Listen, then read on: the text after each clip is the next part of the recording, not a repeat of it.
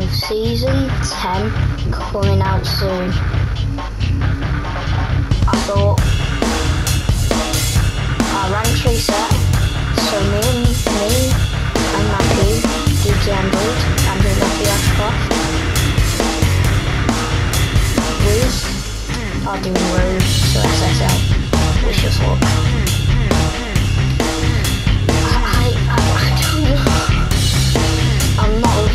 it. It's going to be really hard because I don't even know if we're good enough.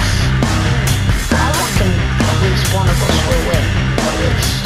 Whoever has, well, it's not really SSL, it can be any rank. It can be any but basically we're aiming to get to SSL. But whoever's got the highest rank at the end of the season 10 wins. And wins what? No clue. We're gonna have to sort that out. So,